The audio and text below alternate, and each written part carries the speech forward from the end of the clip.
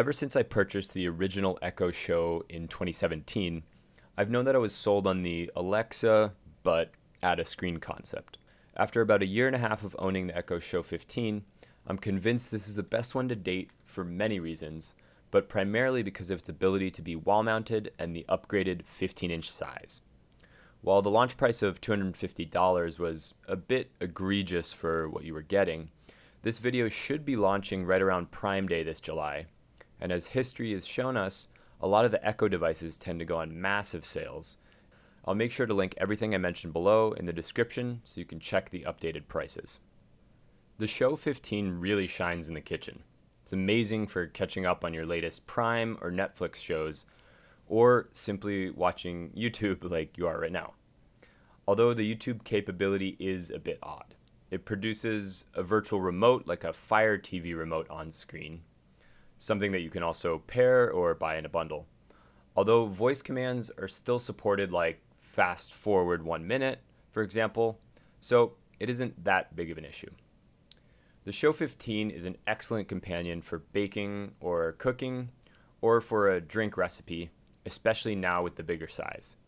It makes looking up highly rated recipes a breeze. It even has videos of the steps integrated at a moment's touch. For the ingredients lists, you can easily add them to your shopping list, which then can be purchased directly on Amazon Fresh or exported for your next groceries trip. They get added to your shopping widget on the front screen directly.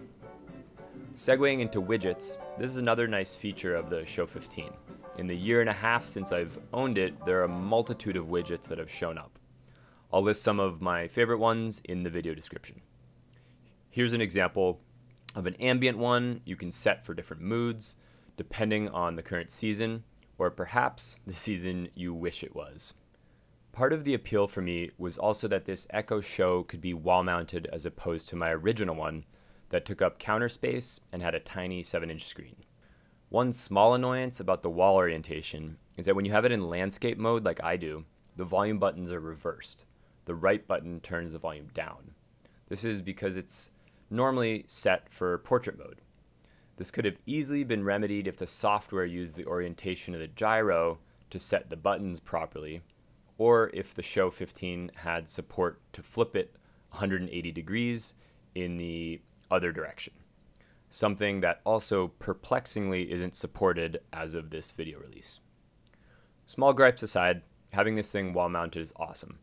A lot of people that come over ask about it since it results in such a clean mounting solution and looks like a smart frame of some sort.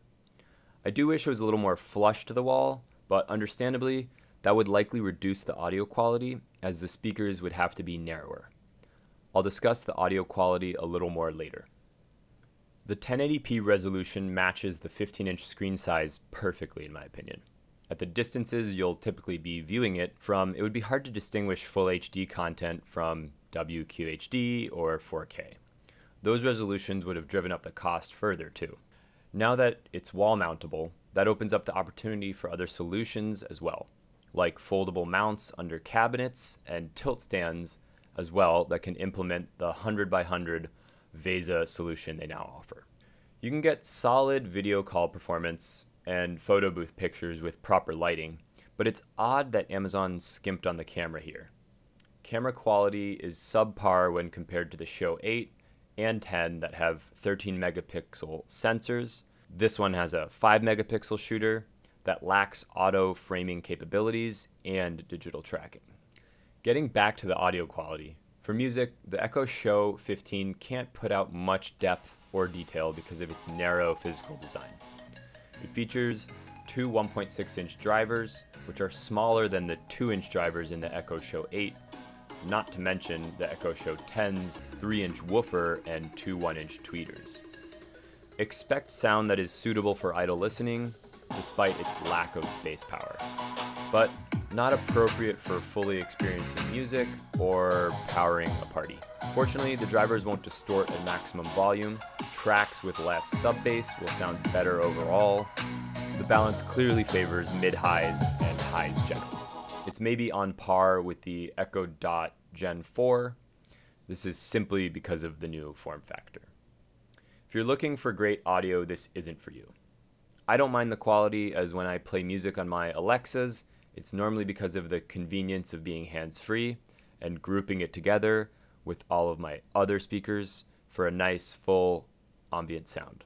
If I'm looking for good quality, I'll play music on my apartment sound system, which is all wired and has much larger speakers. With the Show 15, I think they really intended it to be a solid smart home hub. I can have it control my smart shades, it can start my robot vacuum, or send it back home if Wally's being a bit too invasive.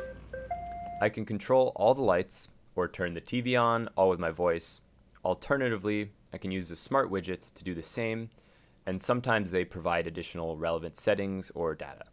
Since I live in an apartment, I don't have a Ring camera, but from what I've seen and researched, the Ring integration appears to be very good and would be quite appealing if I lived in a house. Additionally, they've added visual ID as well as voice ID to display targeted data if you live with multiple family members or have roommates. Of the six Alexas I own in my apartment, it's certainly my favorite and the one that I use the most as my kitchen companion. I hope this provided you with some brief insight into my long term ownership. If you'd like to see more smart home content, uh, here's a video for you to check out. For future smart home content, please consider subscribing, and a like would be much appreciated if you found this video helpful. I'll catch you in the next one.